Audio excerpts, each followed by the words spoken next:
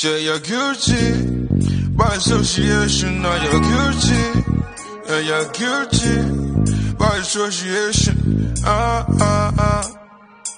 Ah, ah.